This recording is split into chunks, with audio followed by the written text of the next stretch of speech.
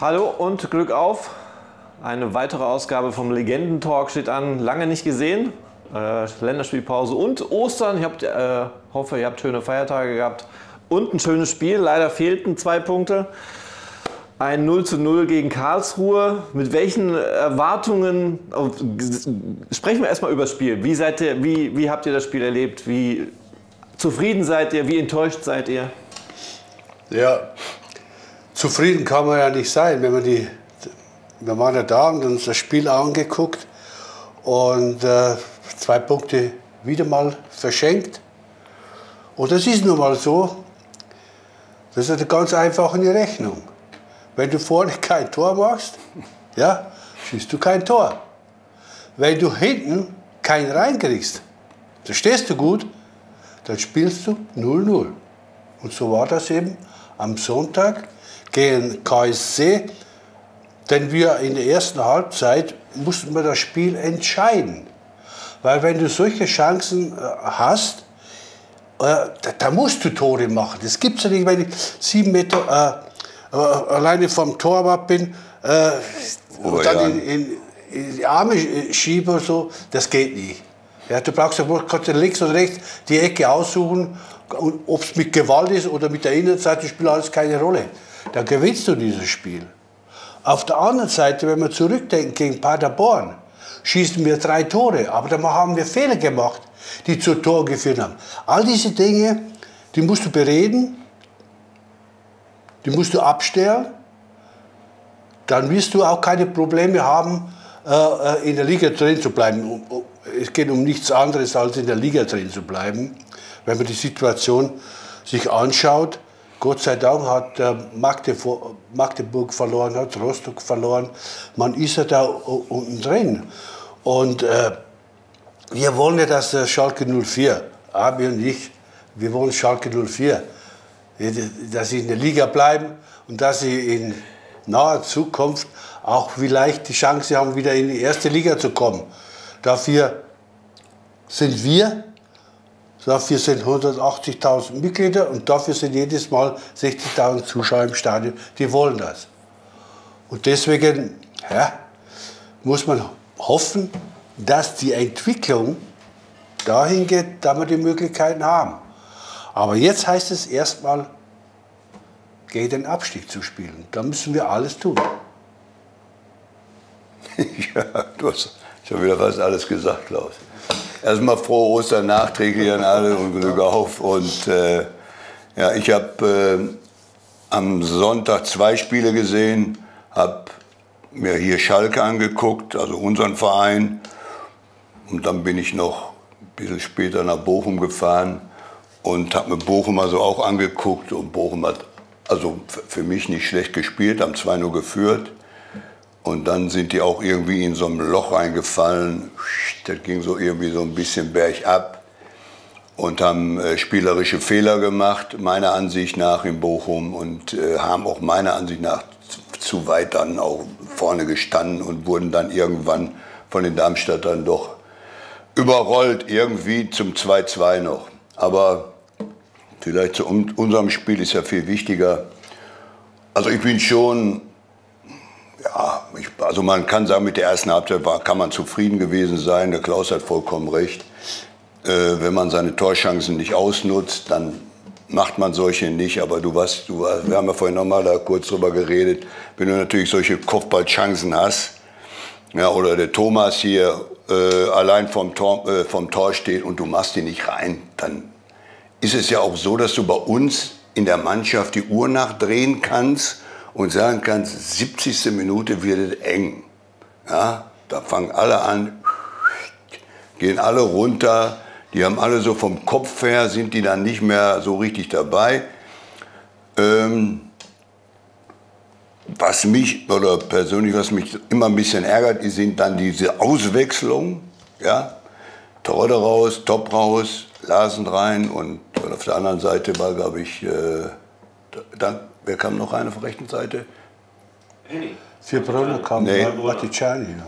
Nee, aber ja, ja, ist doch egal jetzt. Auf jeden Fall, ich persönlich finde es, wenn man zwei Stürmer, zwei richtige Mittelstürmer rausnimmt und man hat dann keinen mehr in der Mitte, Ja, Larsen, der kam rein, der hat gleich die erste Aktion gehabt, spielt den Ball gleich ins Aus. Da war das Publikum schon mal hurra, hurra. Ja, also der hat einen Anfang gehabt, also den möchte ich nicht haben. Ich glaube, dass wir taktisch falsch gemacht haben, dass wir beide rausgenommen haben. Beide Stürmer, also zwei Mittelstürmer rausgenommen haben. Ich hätte mindestens einen Top drin gelassen, weil ich so den Eindruck hatte, der eigentlich so von der Kraft her noch am meisten drauf hatte. Dann muss man sagen, dann kam die, die Karlsruhe ein bisschen besser auf, aber war eigentlich nur Nullspiel. Man hat sich dann natürlich dann auch noch aufgeregt wegen dem Elfmeter. Aber weißt du, ob man jetzt hier unten in der Kabine rumschreit, soweit wie ich gehört habe, Terodde ja wirklich da abgelassen, verstehe ich nicht, weil wir haben genug Chancen gehabt. Die sollen sich mal in ihre eigene Nase packen und wenn sie das nicht, wenn sie das an Torchancen nicht ausnutzen, dann ist es so, dass du 0-0 spielst. Ganz einfach. Und du kannst ja Glück, äh, vom Glück reden, dass die Karlsruhe auch jetzt nicht so unbedingt betickt waren, hier das Spiel zu gewinnen. Die wollten eigentlich nur einen Punkt holen und damit waren sie zufrieden. Meiner Ansicht nach. Mit einem 7-0 ich meine, die haben Magdeburg 7-0 geschlagen, wir 2-5 Niederlage in Berlin. Da gehe ich doch mal davon aus, dass Karlsruhe da schon was holen möchte, ja, oder? Normal, normal können ja äh, die Karlsruher äh, ganz befreit aufspielen, sind Tabellensechster und äh, haben wahrscheinlich auch mit oben und mit unten nichts zu tun. Aber dafür haben sie mich doch ein, bisschen enttäuscht, weil äh, Sie wissen auch, dass wir, die Mannschaft von uns äh, verunsichert ist, dass wir da unten stehen und das ist immer eine, eine blöde Situation, wenn du da unten stehst wie wir und da kommst du als Gegner hierhin, dann musst du mit so viel Selbstvertrauen hier hinkommen, weil es sind andere Mannschaften hier hingekommen, die was weggeholt haben. Und äh, da, vom KSC muss ich auch ehrlich sagen, ich wüsste jetzt keinen, äh, wenn ich die Möglichkeit hatte, hätte einen Spieler äh, zu verpflichten vom KSC, obwohl sie Tabellensechster sind. Und deswegen äh, haben wir eigentlich äh, Punkte verschenkt. Weil wir die, die, bessere Mannschaft waren, die größeren Chancen hatten. Aber habe ich hat gesagt, Chancen, wenn du Chancen hast und machst sie nicht, dann musst du noch damit rechnen, dass du einen hinten reinkriegst und verlierst 1-0. Und das ist ja dann doppelt bitter, wenn äh, dann, äh, als Verlierer vielleicht vom Platz gehst. So waren wir vielleicht in der zweiten Halbzeit ein bisschen verunsichert, nur nicht äh, offen zu machen, nur nicht, äh, dass wir einen reinkriegen, dass wir dann vielleicht 1-0 verlieren. Und äh, die, Spiele, die Spiele, die wir dann eben haben noch, äh, die, die werden ja auch nicht leichter, weil braucht man die Gegner nur anschauen. Und deswegen waren es zwei verschenkte Punkte, die auch schon gegen Paderborn zu Hause haben wir ja auch zwei Punkte äh, äh verschenkt. Und das, die tun natürlich weh. Das, wenn du die Tabelle anschaust, ist das so. Also ich meine, dass wir ja nun wirklich kein Stück weitergekommen sind. Also kein Stück. Wir sind nicht ein Stück weitergekommen, weil wenn du deine Spiele auch zu Hause nicht gewinnst, dann trampelst du auf die Stelle und das wird dann immer, immer schlimmer wird das, ja, weil dann fangen sie an, alle langsam Angst zu kriegen und ich hoffe, dass wir mal jetzt hier auswärts was holen. Aber was ich auch, es tut mir leid, aber wenn ich, wenn ich sehe, der Asam, der Kleine, den haben wir in Gütersloh beide gesehen. Der war der beste Mann. So, dann frage ich mich nur, da spielt an einem Freundschaftsspiel gut. Warum spielt der Junge hier nicht? Ist das wirklich so, dass sie sagen, oh, hör mal zu, wir müssen den in Watte packen und den schön da hinsetzen, weil wir kriegen ja für den sieben Millionen.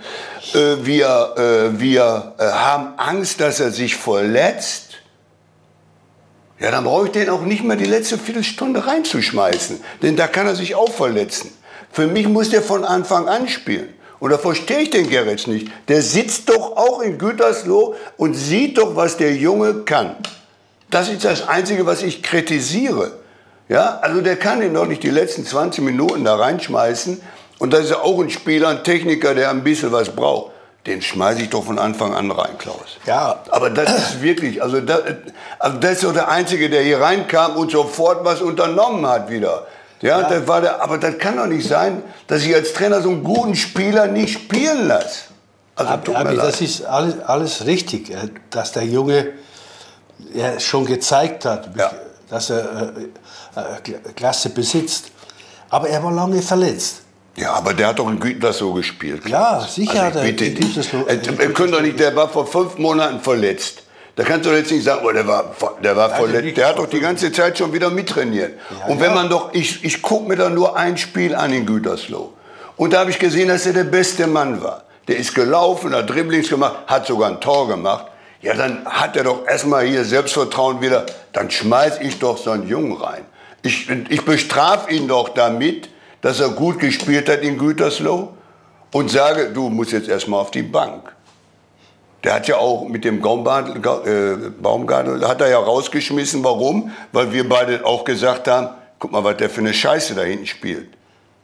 Ja? Also den hat er ja auch rausgefeuert. Also kann ich doch auch genauso sagen, der Junge hat gut gespielt, der spielt. Und wenn er eben nicht die Kraft hat, so wie du vielleicht sagst, 70. Minute, aber der hat so viel Potenzial. Der ist jung, hör mal, der rennt, der dribbelt, der macht. Und wenn du letzten 20 Minuten reinkommst, tut mir leid, dann ist das auch für den schwer. Aber die können den doch jetzt hier nicht in Watte packen und sagen, um Gottes Willen, für den kriegen wir sieben Millionen, der darf sich bloß nicht mehr verletzen. Das ist doch, wir spielen doch um die Existenz unseres Vereins hier. Da müssen wir alle reinschmeißen, die wir zur Verfügung haben. Und für mich die besten Spieler müssen spielen. Ich weiß nicht, ob du das anders siehst. Aber Nein, sicherlich äh, müssen die besten äh, Spieler äh, spielen. Aber man mit, äh, wird doch auch im Training, in der Woche und so weiter äh, beobachten, wie, wie ist er drauf, mit, mit ihm sprechen, hast du noch keine Probleme und so weiter. Und äh, ja, es ist so entschieden worden. Äh, Im Nachhinein kann man, sagen, kann, man, kann man immer sagen, der musste von Anfang an spielen. Natürlich wird, ist, wird es jetzt Zeit, dass er von Anfang an spielt. Gar keine Frage, weil jetzt hat er da in Gütersloh gespielt, jetzt kann man da rein, hat auch wieder gespielt, er macht wieder Training und so weiter. Und von der Klasse her muss er, ein, muss er spielen. Ja, ich denke auch, da bin ich überzeugt, äh, dass der Also Darko, Beim- beim Darko dass sie Wechselspiel den. Darko vor ihm ziehen, tut mir leid, verstehe ich nicht. Dass der er reinkam, noch, ja, also das ist für mich eine Geschichte, die ich nicht verstehe. Muss ich dir ganz ehrlich, ob du jetzt rechts außen oder links außen, es spielt gar keine Rolle. Aber du musst doch so einen Jungen spielen. Dann Darko kommt rein, der kannst du auch, der, der hat doch nichts gemacht. Daher braucht es auch keinen auszuwechseln. Ja, da braucht doch keinen auszuwechseln, wenn er überhaupt nichts unternimmt. Der stand auf seiner rechten Seite ja, und hat, mir nicht, hat nichts gemacht. Dann habe, hätte ich hier vielleicht lieber eher noch diesen Amidi oder wie der heißt, hier von der U23, wo ich dir gesagt habe, ja, nee, Amidi, guck dir den mal an, den, den Jungen, der ist nicht schlecht. Dann hätte ich den eher mal reingeschmissen. Muss ich dir ganz ehrlich sagen. Bei, bei, bei dem anderen weiß ich doch, was der kann. Aber ich, Gütersloh gespielt hat. ja. Ja, dann, den schmeiße ich doch mal rein, dann schmeiße ich den mal rein. Ja, also viel schlechter ist der nicht. Ich glaube sogar, dass der für mich auf der Position, auf dieser Außenposition, der beste von den dreien ist. Bin ich fest von überzeugt. Weil der, hat, der ist schnell, der ist, der ist, äh, der ist willig, das siehst du, der spielt eins gegen eins ganz gut. Das hat man in Gütersloh auch ein paar Mal gesehen. Klar haben sie ihn so ein bisschen mehr in die Mitte reingedrängt, ja, weil der Verteidiger pausenlos kam. Da ist er also von seinem Spiel abgekommen. Aber der hätte Gerrits in Gütersloh sagen müssen, komm, äh, komm nicht immer, renn ihm nicht laufend auf die Pelle, dann läuft er immer nach innen rein. Aber der hatte zwei, drei Aktionen, zack, zack, zack, außen vorbei. Also ich, ich finde den richtig gut. Und ich finde, irgendwo sollte der auch mal eine Chance kriegen. Also, man kann, man, man kann ja sagen, was man will, aber man muss auch die Jungs reinschmeißen. Man muss denen ja auch mal irgendwann sagen, komm. Und wenn ich dann immer äh, höre oder lese, da sind zwei 17-Jährige bei Barcelona in der Innenverteidigung, zwei 17-jährige Jungs in der Innenverteidigung bei Barca und ein 16-Jähriger im Mittelfeld. Ja, frage mich nur, sind die äh, so Weltklasse oder viel, viel besser als unsere Jungs? Glaube ich nicht. Nein. Die schmeißen die einfach rein und sagen, los, schwimmt mal los. Wir vertrauen euch und Feierabend. Ja, aber du siehst ja wieder, wer sitzt unten? Dann ist Marc auch noch dabei, Wilmots und der Trainer. Die, die sehen ja, sind bei jedem, Ja, der Marc ist ja, glaube ich, nicht auf der Bank. Ne? Training. Bitte? Nee, der Marc ist nicht auf der Bank. Nein, das du oben, aber die, er sieht das da auch und äh, die besprechen, wenn er das ja besprechen über die ganze Woche und äh, ja, dann musst du entscheiden und dann, äh, ja, und dann, ich hoffe auch, äh, dass diese Jungs, Jungs mal die Chance kriegen, dass sie rein, reinkommen und da müssen auch Leistung bringen, ganz klar. Und in dieser Situation, vielleicht haben sie Angst, diese Jungs zu bringen in dieser Situation. Ich weiß es nicht. Und äh, ja, es ist immer so, wenn man das Spiel gewonnen hätte, würde man darüber gar nicht reden. Aber sie haben das Spiel nicht gewonnen. Ja, Wir nee, haben Punkte wieder ja- verschenkt es wird immer und äh, haben jetzt ein schweres Auswärtsspiel Ja. in Hannover. Und äh, auswärts haben wir ja, ja, Hannover spielt keine gute Leistung mit, Klaus. gebracht in den letzten Auswärtsspielen, Hanno- überhaupt nicht. Hannover spielt oben mit und Ja, die werden, haben die werden. Vollgas geben. Das garantiert. Also bin ich schwer, fest von überzeugt. Und wenn du, bei uns ist ja immer so, wenn du auswärts einen reinkriegst, bricht die ganze Truppe zusammen. Und das ist das, was mich immer so ein bisschen irritiert. Ja? Also das ist jetzt keine, keine Mannschaft, sag ich mal, so wie Leverkusen, die sagt, boah, 92. Minute, wie lange spielen wir noch? Bis 76. Das Ding drehen wir noch das, diese Mentalität, ja, was der da in Leverkusen reingebracht hat, das würde ich hier gerne mal nur in 90 Minuten sehen bei uns, dass die bis 90 Minuten Vollgas geben. Ja. Und das ist leider nicht drin bei uns in der Mannschaft. Wir, wir, wir brechen ab und zwar ab 70. Minute. Also wenn uns einer einen Faden zieht und sagt Schluss, Ende aus und dann musst du zittern, dass du das Spiel nicht verlierst. Und so, so, so ist das eigentlich. Ja, entweder sind wir wirklich, haben wir schlechte Vorbereitung gemacht, weil ich oder eben wie auch gesagt schon mal, dass der eine oder andere, der verletzt war, dann eben nicht ordentlich trainiert hat, um wieder in seiner, in seiner Form, in seiner Kondition reinzukommen. Ich kann das nicht genau sagen, man hat vier Tage, glaube ich, jetzt mal frei gemacht beim, beim, beim Länderspiel vier Tage, das ist natürlich eine Menge. Da würde ich wahrscheinlich sagen, so, pass mal auf, der hat nichts drauf, der hat nichts drauf, der ist verletzt, der ist verletzt, antreten. Wir teilen die Truppe mal, wer die ganze Zeit gespielt hat. Die haben mal eine Pause von drei Tagen. Die anderen trainieren. Tut mir leid, Jungs, wir müssen was tun, ja, in der Situation, wo wir uns gerade befassen. Und da muss man einfach durchgreifen und nicht sagen, so, jetzt habt ihr alle frei und feiert mal schön oder geht zu euren Familien und, und dafür ist die Situation ja jetzt noch schlimmer geworden, dadurch, dass wir das Spiel nicht gewonnen haben. Also müssten wir eigentlich noch mehr arbeiten, noch mehr gucken, wie du ja auch immer gesagt hast, ich muss vom Tor arbeiten.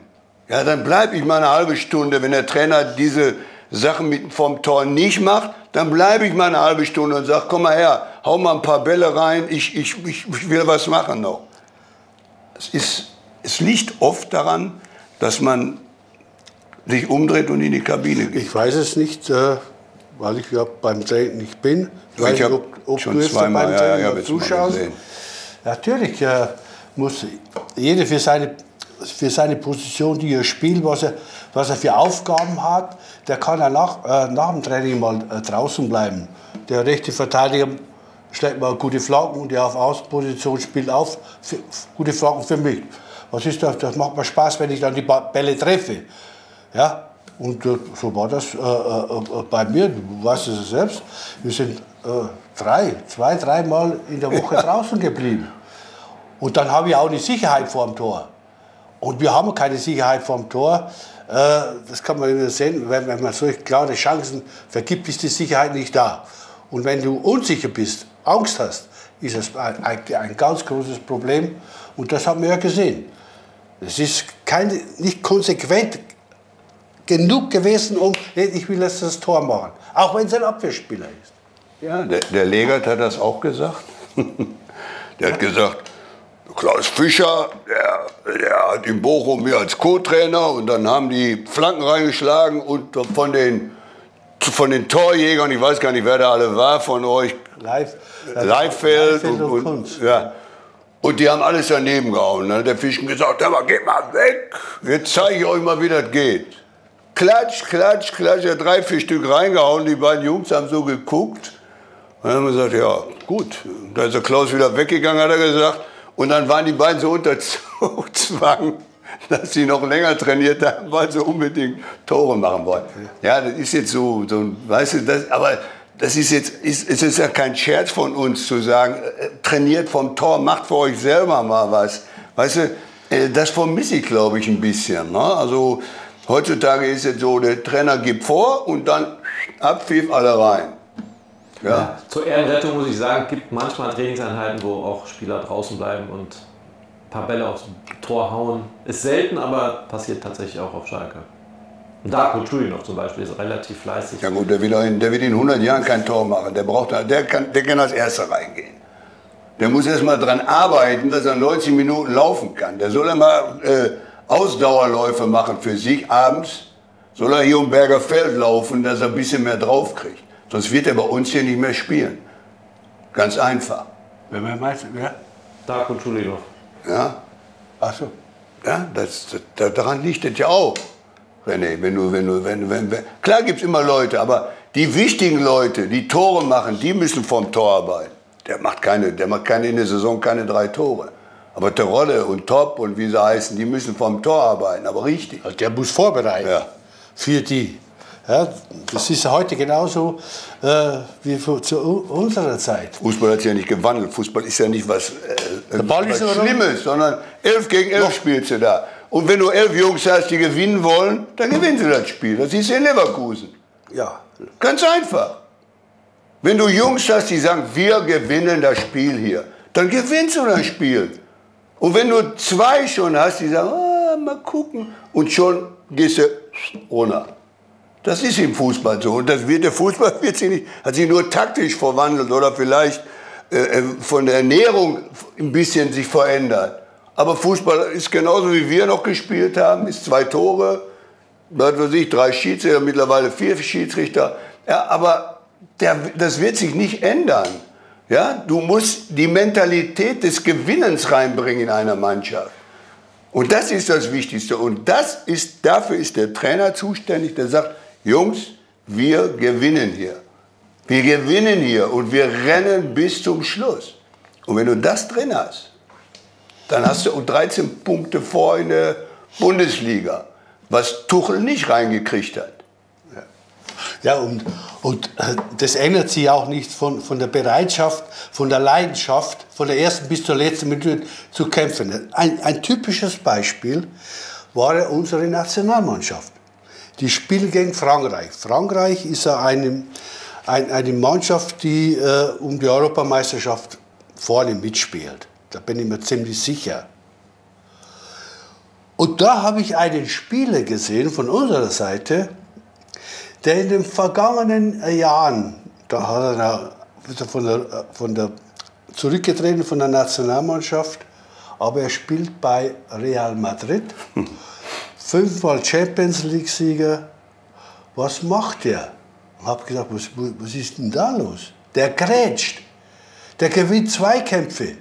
Also der hat auch gemerkt, oder man hat darüber gesprochen, der hat gemerkt, dass das nur ein bisschen Fußball spielen, bei 5 Meter dahin, 5 Meter dahin, mal ein 30 Meter Ball, dass das nicht reicht. Und das hat er gemerkt. Und hat es getan. Und er war der beste Spieler. So, Ja, so einfach. In Verbindung, in Verbindung mit, mit seiner fußballerischen Qualität. Und auch mit, mit, mit Kampfbereitschaft. Äh, Ein Spiel, typischer Spieler war auch Matthäus. Matthäus war ein schneller Spieler, er konnte auch Fußball spielen und hat Gas gegeben. War Weltklasse-Spieler. Ja, Nur so geht's. man sieht ja ein auch- bisschen Fußball spielen, da kommst du nie weiter. Du siehst doch auch, dass ein Sahne schon Schwierigkeiten hat, wieder wahrscheinlich in die Nationalmannschaft reinzukommen. Der hat seine Art und Weise, wie der spielt.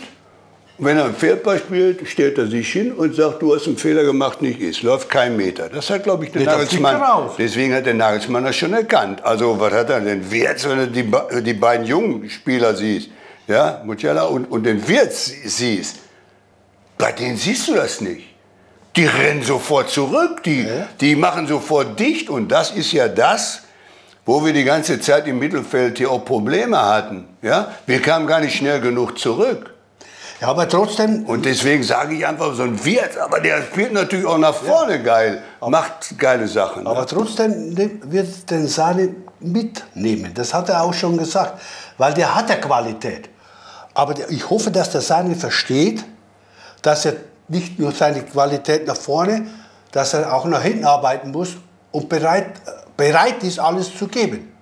Und wenn er dann äh, Stunde gespielt hat und viel gelaufen und so weiter und mit ausgewählt, dann darf er nicht so äh, rausgehen und äh, warum, warum ausgerechnet ich? Nein.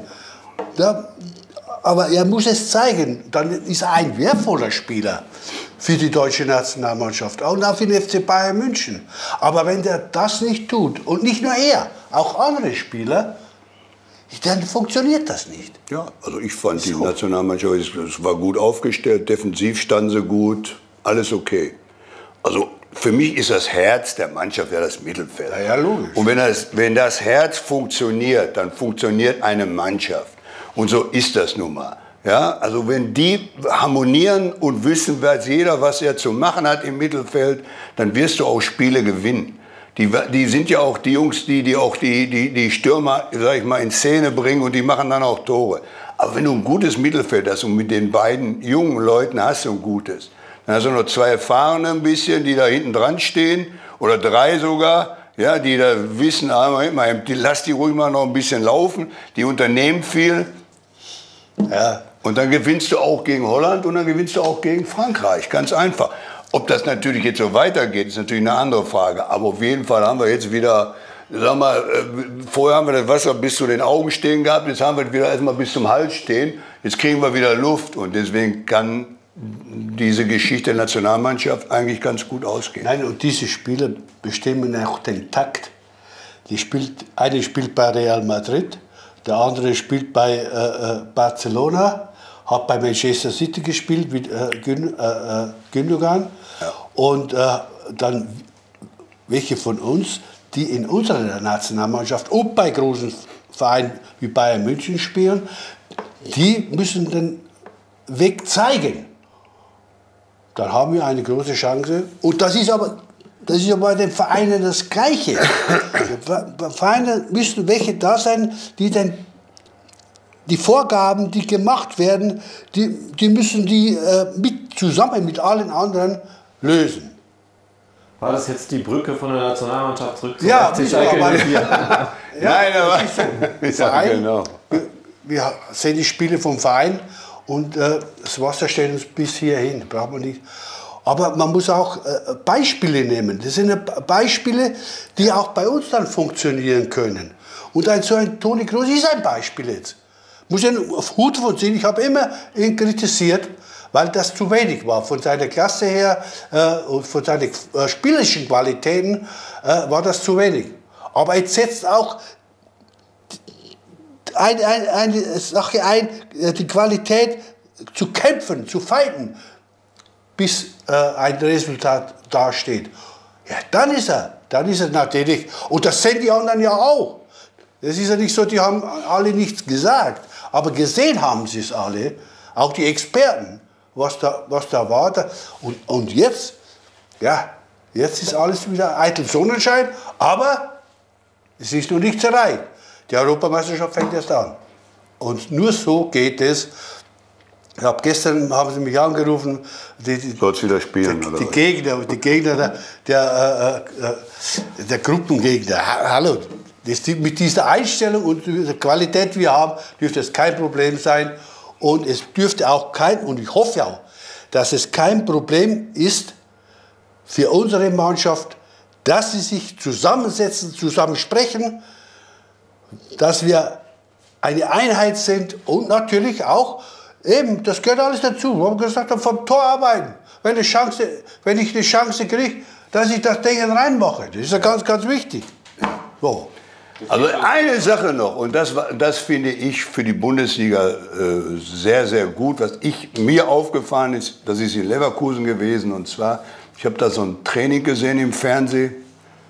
Das fand ich schon absolute Weltklasse, das muss man einfach sagen. Also das war ein Spieler gewesen, der diagonalen Ball rüberspielen sollte zu einem bestimmten Punkt und den Punkt hat er nicht richtig getroffen. Er ging immer so ein paar Meter weg. Dann hat sich der Alonso den Ball genommen, hat sich fünf Bälle hingelegt und hat alle fünf Punkte getroffen, da wo der hinspielen sollte. Dann hättest du, also die Gesichter von den Spielern, ja, die haben gesagt, wow, war das denn gewesen? Und dann hat er auch gleichzeitig gesagt, ich will nicht, dass er vier Meter da, fünf Meter da, sondern der muss genau da hinkommen, weil er muss den Ball noch verarbeiten, holt ihn runter und, und, und. Rennt er vor, macht er dann, springt der Ball weg, kommt er.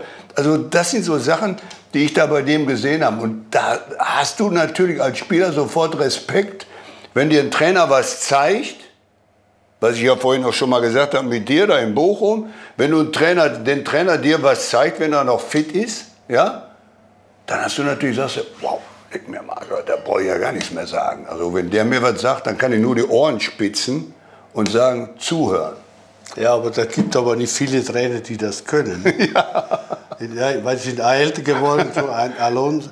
Alonso wir haben auch viele Lehrer jetzt mittlerweile in, ja. den, in ja. der Bundesliga. Ne? Der, der ein Weltklasse-Spieler war, der, der es einfach drin hatte und äh, ja. für den kein Problem. Nein, ich wollte das schon mal reinschmeißen. ja.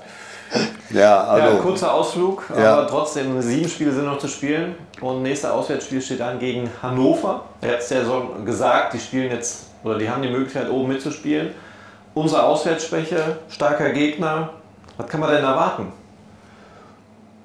Also, ich, wenn ich ehrlich bin, ich glaube nicht, dass, dass wir in Hannover was holen. Dafür ja. sind die zu gallig zu Hause und da wird das Stadion voll sein, auch von denen ihrer Seite. Auch wenn wir jetzt 10.000 äh, mitbringen. Ähm, ich glaube, das wird aber auch ganz schön schwer. Es kommt darauf an, wie wir spielen. Ob wir jetzt uns wirklich, wir haben ja schon mal so einen Teil Pressing gespielt, auch auswärts. Aber ich glaube auch, dass wir uns bei dieser Truppe nicht zu weit nach vorne wagen sollten. Wir sollten erstmal gucken, dass wir lange, lange, lange, lange 0-0 spielen. Ich glaube nicht, dass, dass wir da, gut beraten sind, äh, offensiv zu spielen. Ja. Es, es ist volles Stadion, ganz klar. Die, die Situation ist ja die, dass Hannover 96 noch äh, die Möglichkeit hat, äh, Relegation auf jeden Fall. Und, aber wenn wir uns hinten reinstellen, das darfst du nicht. Weil wenn wir uns hinten reinstellen, was Terode ist kein Konterspieler, äh, äh, Top ist kein Konterspieler, da kommst, du gar nicht nach, da kommst du gar nicht nach vorne. Ich würde schon mutig sein und auch die attackieren, mit denen rechnen die ja gar nicht. Dass wir die früh attackieren, wenn die lange Bälle schlagen. Hast du ja jetzt gesagt, jetzt hören die zu und jetzt wissen die genau, wie sie spielen. Bitte? jetzt hast du das ja gesagt.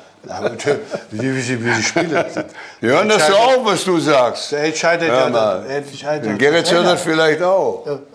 Und deswegen äh, mutig sein, Fehler, große Fehler zu vermeiden und, und jeder für jeden da sein. Erste Minute an, äh, äh, weil das haben wir auch schon öfter gesagt, man wiederholt sich ja manchmal. In dieser Liga kann ja jeder jeden schlagen. Wir haben auch St. Pauli geschlagen. Sie sind fünf Punkte vom Tabellenzweiten.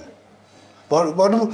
Nein, Aber ich bin was wir in den Auswärtsspielen gezeigt haben, das war zu wenig. Also wir haben verhältnismäßig schnell immer die ersten 20 Minuten haben wir immer einen reingekriegt und ich finde irgendwo, auch wenn wir jetzt pressen würden, Klaus, äh, ist, sind die Felder mir zu groß, dass die da zu schnell durchkommen. Ich meine, dass wir mal erstmal probieren sollten. Du hast ja recht, wir haben vielleicht keine Konterspieler, aber du brauchst ja nicht immer Konterspieler, um unbedingt hinten rauszukommen. Man kann ja auch mal kombinieren miteinander. Das ist ja, ne, also du musst ja jetzt nicht so einen schnellen haben, wo du lang aus und, und sagst so, gib mal Gas. Aber man kann ja mal rauskommen. Aber dass wir nicht zu schnell in Rückstand geraten, dass wir wirklich mal eine Halbzeit 0-0 spielen.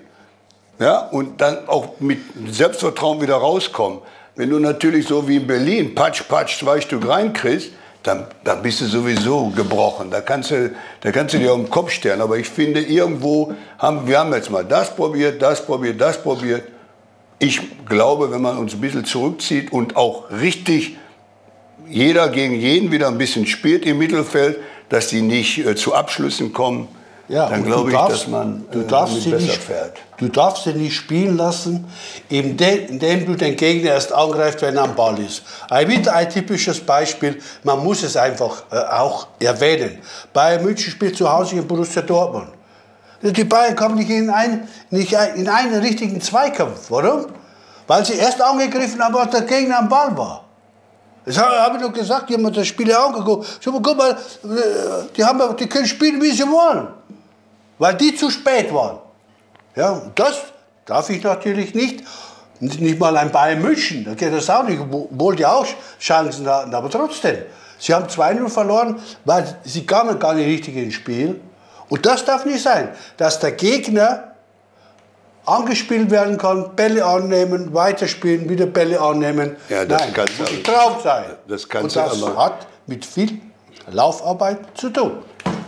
Das kannst du aber, so wie du jetzt gesagt hast, das, das ist ja die Gefahr, wenn du, wenn du Pressing spielst, dass da irgendwie durch die Gassen Bälle durchkommen und deswegen die schneller nach vorne laufen können. Ich glaube, dass man einfach mal, also das ist meine Meinung, wir können ja darüber diskutieren, aber ich glaube, dass wir uns mal erstmal zurückziehen sollen.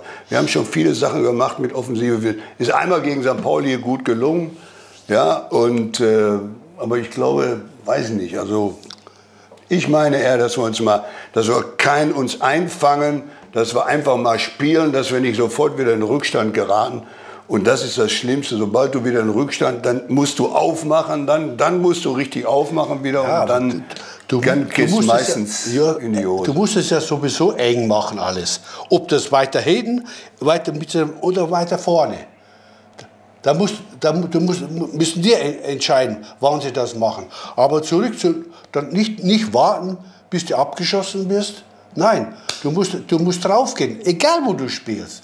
Aber dann, um, um, um umzuschalten, schnell umzuschalten, dann muss die Post abgehen. Wenn du die Bälle abgefangen hast, Aber den Zweikampf ist ja, gewonnen, also da, da bin ich ja vielleicht Da ein bisschen gemischte. Meinung. Also wenn ich jetzt nach vorne gehe und probiere zu pressen, dann nehme ich ja die Abwehr mit.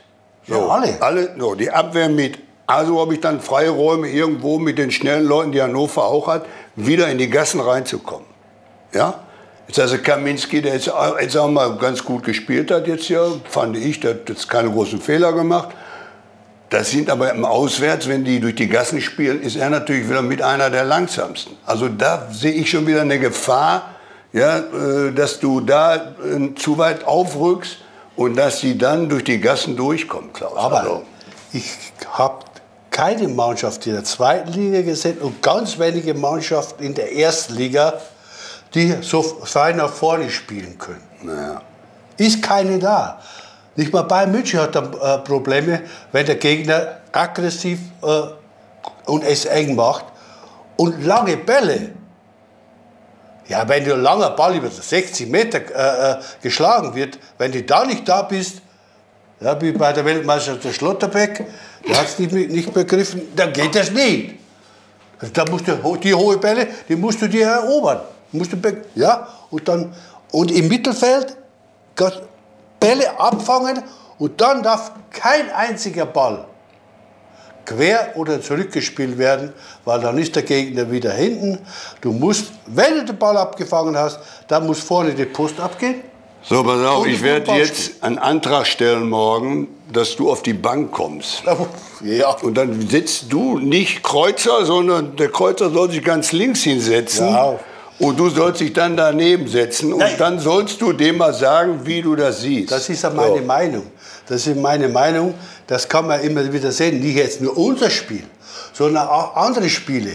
Wie du den Zweikampf gewinnst und spielst einmal quer und zurück, ist alles wieder vorbei. Das Umschaltspiel, das muss dann funktionieren. So. Und wenn ich den Ball nach vorne spiele, kann da hinten auch nichts passieren. Und was haben wir gemacht? Hier äh, der Querpass vom äh, von den jungen Spielern da Ach ja, der abgefangenen. Tor.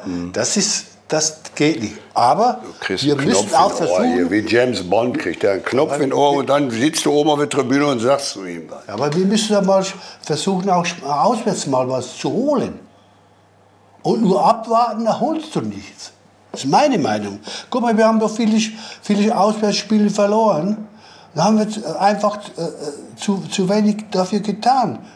Und äh, natürlich mu- müssen die entscheiden. Ja, Die sind da, die trainieren die ganze Woche jetzt wieder. Und wir beide, wir können wir ein bisschen erzählen.